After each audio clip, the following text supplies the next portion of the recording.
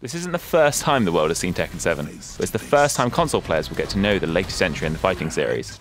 Tekken 7 began life in March 2015 in Japanese arcades, albeit as a limited release, and later became known as Tekken 7 Fated Retribution following a full arcade launch in July 2016. Now, though, that new, updated version is finally heading to PS4, Xbox One, and PC. Are personal.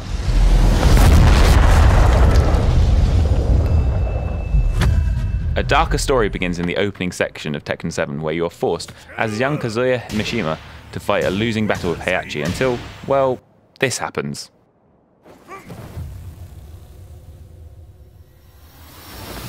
Safe to say, Mr. Mishima won't be winning Father of the Year anytime soon. It's not all doom and gloom, of course. Whether you've finished the story or just want a bit of a break, Tekken 7 offers a huge range of customization options for both your character as well as the series staples. Player cards, titles, and profiles are all interchangeable with hundreds of options, and of course, you can dress Tekken characters up to the nines. How do you earn all of this? Well, Fight. Treasure Battle is Tekken 7's souped up arcade mode. You'll be able to fight who you want with whoever you want, all in the name of earning cash dollar for those sweet customization options. Great. You'll earn cash from winning, pulling off awesome combos, and just generally taking part. Tekken 7 supports you in many different ways.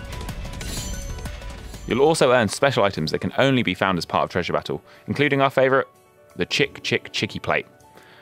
Ah, Tekken. We're firm believers that an excellent game needs an excellent soundtrack, and Tekken 7 has something pretty special up its sleeve. Head over to the jukebox manual and you'll be greeted with every Tekken soundtrack ever committed to history.